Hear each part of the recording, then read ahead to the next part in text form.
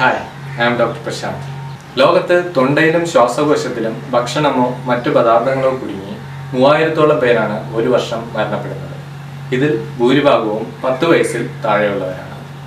ഭക്ഷണ പദാർത്ഥങ്ങൾ മുതൽ നാണയങ്ങൾ വരെ ഇതിന് കാരണമാകാം. ബിരിയാണി തൊണ്ടയിൽ കുടുങ്ങി ഗൃഹനാഥൻ മരിച്ചു. ഈ അടുത്തു വന്ന ഒരു പത്രവാർത്തയാണ് ഇങ്ങനെ എത്ര പേരാണ് ഒരു വർഷം നമ്മുടെ സമൂഹത്തിൽ മരണപ്പെടുന്നത്? എന്നാൽ കുറച്ച് ശ്രദ്ധിച്ചാൽ ഈ മരണങ്ങൾ നമുക്ക് ഒഴിവാക്കാവുന്നതേ ഉള്ളൂ.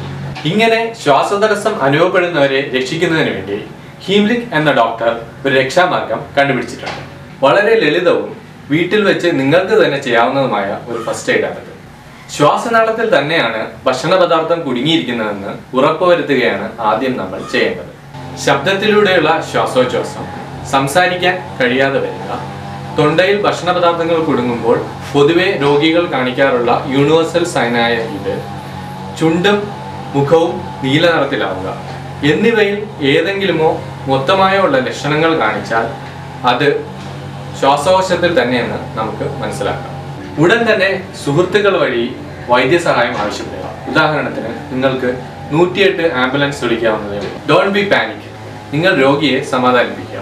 അതിനുശേഷം രോഗിയുടെ പിറകുവശത്തേക്ക് വരിക. അത് കഴിഞ്ഞ് നിങ്ങളുടെ ഡോമിനൻ ഹാൻഡ് മിക്കവർക്കും വലത് കൈയായിരിക്കും. വലത് കൈ രോഗിയുടെ പൊക്കിൾ കൊടിക്കും വാരിയലിനും ഇടയിൽ നമ്മുടെ തള്ളവിരൽ വയറിനോട് ചേർന്നിരിക്കുന്നത് പോലെ വെക്കുക.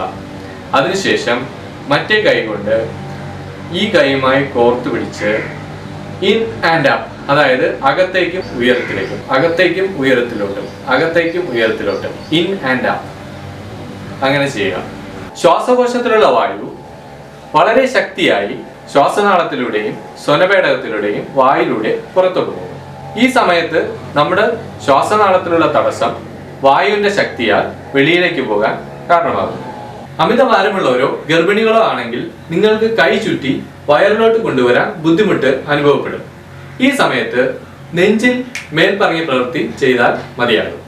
ഒരു പക്ഷേ നിങ്ങൾ വീട്ടിൽ ഒറ്റയ്ക്കുള്ളപ്പോഴാണ് ഈ ശ്വാസതടസ്സം ഉണ്ടാകുന്നതെങ്കിൽ ഒരു മേശയുടെ അരികിലേക്ക് പോവുക. നിങ്ങളുടെ പൊക്കിളിനും വാരിയലിനും ഇടയുള്ള ഭാഗം മേശമേൽ ശക്തിയായി അമർത്തിയാലും മതിയാകും.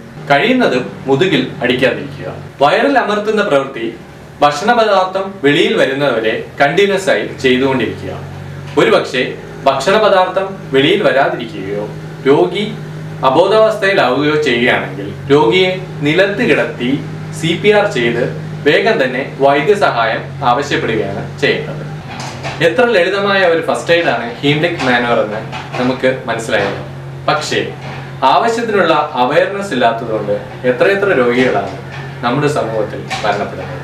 ഈ വീഡിയോ അങ്ങനെ ഒരു മരണത്തെ തടയാൻ നിങ്ങൾക്ക് സഹായകരമാകട്ടെ എന്ന് പ്രത്യാശിച്ചുകൊണ്ട് നിർത്തുന്നു. നന്ദി.